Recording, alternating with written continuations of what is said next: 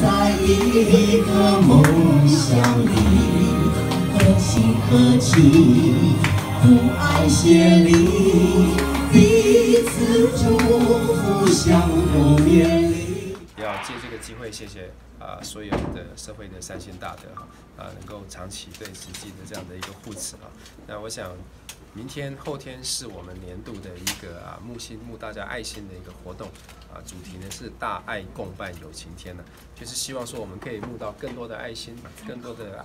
人一起来投入啊。那我想今天要特别谢谢我们来自台湾的艺人啊，杨贵妃师姐、高原，还有啊刘小倩师姐，还有我们的熊猫集团啊，那大家呢一起啊能够一起来携手合作，那么为未来更多的一些慈善的计划，包括不管是蔬果发放也好啦，义诊也好啦，幸福校园非常非常多的这个计划，还有再加上现在的天灾呢，啊、真的是蛮多的哈，所以我们需要更多更多的人，更多更多的爱心能够聚集在一起。呃，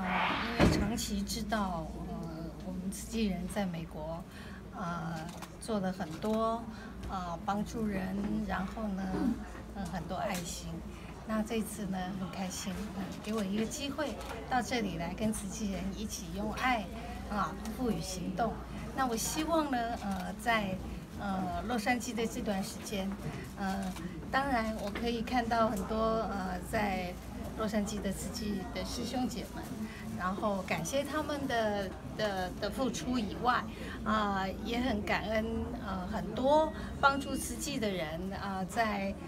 爱的这条路上给予我们很多支援，给予我们很多帮助，跟无论是呃物资也好，无论是人力也好，无论是财力也好，非常感谢，让我们慈济人啊、在爱的路上可以帮助更多的呃美国的朋友啊、无论是没有国界的啊，无论是哪哪哪一国的人需要帮助，我相信慈济人都会尽力，而且全力。我站在屋檐下，看到风雨中飘摇的花，才悟出平的真谛，福恩的伟大。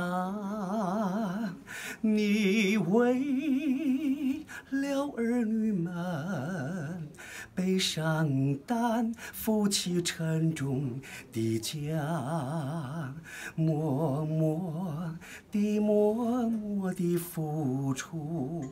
从不计代价。好，明天听。